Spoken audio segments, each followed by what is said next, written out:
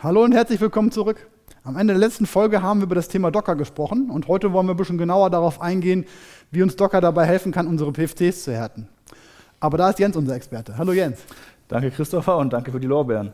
Ähm, genau, Docker und Docker auf unseren Geräten. Wir können seit der Firmware 20 können wir Docker auf den Geräten ausführen, Docker-Container um genau zu sein. Docker ist eine Art Virtualisierung, um Applikationen auf den Geräten zu deployen. Wenn Sie darüber mehr Informationen brauchen, dann kontaktieren, kontaktieren Sie uns gerne. Wir haben ja in der letzten Folge gesehen, dass die Härtungsmaßnahmen des PFCs sehr komplex sein können und sehr umfangreich. Gerade wenn ich mehrere Geräte securen möchte, dann ist das ein sehr aufwendiger und, auf, und zeitintensiver Prozess. Das möchte ich irgendwie kurz machen. Da können uns Docker-Container helfen. Mein Kollege Helmut Saal und ich, wir haben eine Docker-Applikation geschrieben, mit der wir das Gerät securen können. Mhm. Wir können also mit der Docker-Technologie diesen Secure-Applikation auf das Gerät deployen und dann secured diese Applikation unseren Container. Wir können Passwörter tauschen und diverse Einstellungen ändern. All das, was wir normalerweise über das WBM beispielsweise machen würden. Genau, genau. Mhm. Jetzt gibt es noch eine weitere schicke Feinheit, Docker Swarm-Technologie. Wir können mit Swarm mehrere PFCs, mehrere Geräte in einen Verbund zusammenschalten, in den Swarm-Verbund und von zentraler Stelle administrieren und von zentraler Stelle Applikationen deployen. Das haben wir hier vorbereitet. Wir haben unsere gleiche mhm. Musteranlage. Nur mit dem Unterschied, dass jetzt der Docker Swarm Manager auf dem Edge-Computer läuft und die PFCs sind Docker Swarm Teilnehmer. Wir können den Docker Swarm Manager mit einem grafischen Tool, Portainer nennt sich das, das bedienen wir, dessen bedienen wir uns, können wir das grafisch verwalten und grafisch administrieren. Dazu können wir an unsere gefüllte GLT gehen. Wir müssen uns hier anmelden an dem Portainer Tool mit dem super geheimen Passwort. Welchen? Oh, das ist wieder uh, mein Einsatz. Ich hoffe, das ist ein sicheres Passwort, denn das sollte es ja sein. Ja, genau. Diesmal ist es wirklich sicher, weil Portainer bietet mir bei der Einrichtung des Tools keine andere Möglichkeit, als ein sicheres Passwort einzugeben.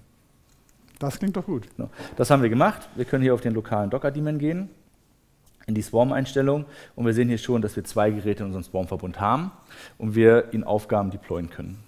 Ähm, noch eine kleine Feinheit, auf die ich kurz eingehen möchte. Wir haben hier solche Tags, mit denen ich das Deployen noch ein bisschen beeinflussen kann. Ich kann mhm. auf die Tags sozusagen suchen und greppen und der Swarm Manager rollt dann bloß die passende Applikation aus, wozu die Tags passen.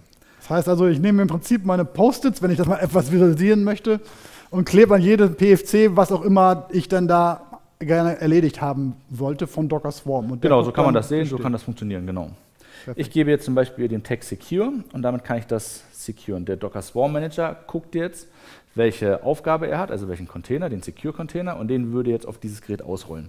Das ist ganz interessant, weil ich kann damit auch ein Device-Management abbilden. Was ist denn, mhm. wenn ich zum Beispiel den PFC wieder aus meinem Unternehmen raushaben möchte? Also die, ich brauche die Anwendung nicht mehr, ich brauche die, die Anlage nicht mehr, ich habe einen Offboarding-Prozess, das Lifecycle ist, ist, ist erfüllt sind ja immer noch meine Standardpasswörter oder meine, meine Unternehmenspasswörter auf den Geräten. Und mit dem Secure Tag No rollt der Container wieder die Standard-Vago-Passwörter auf das Gerät. Also ich habe einen richtigen Offboarding-Prozess. Wir müssen den Stack noch starten. So nennen sich Aufgaben, die ich dem Swarm-Verbund gebe. Mhm. Und wenn ich den Secure Stack starte, dann sehe ich sofort, dass der Swarm Manager ein Gerät findet, nämlich den einen PFC mit dem Tag Secure Yes und rollt diese Applikation darauf aus. Ich kann mir die Logdateien angucken und ich sehe, dass der Container anfängt, etwas träge heute, genau, der, dass der Container anfängt, den PFC zu securen. Er ändert die Standardpasswörter nach meinen Unternehmensrichtlinien, er ändert die FTP-Einstellungen, also deaktiviert Dienste und Ports, wie ich das möchte. Und das alles dokumentiert er auch für die spätere Auswertung. Da freut sich doch der Auditor. Genau, auf alle Fälle. wenn das Gerät fertig ist, kriege ich die Meldung Operation Finished und wenn alles geklappt hat, dann habe ich jetzt das Web-Based Management deaktiviert und ich kann nicht mehr darauf zugreifen, das Gerät ist damit secured. Perfekt, also haben wir uns schon mal das ganze Hin- und Herklicken für die Härtung gespart und wenn ich auf mehrere PFCs schaue, kann ich die auch alle gleichzeitig dann absichern. Genau, die Zeitersparnis ist enorm, weil ich alles mit einem Mausklick kann ich das ausrollen.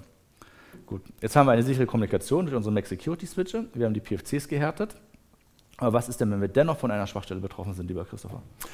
Das ist natürlich kein Problem. Ähm, Vago kümmert sich auch um dieses Problem. Das heißt, ich habe eine PFC zum Beispiel bei mir stehen und irgendwann wird eine Schwachstelle bekannt, wie man das auch von Windows kennt.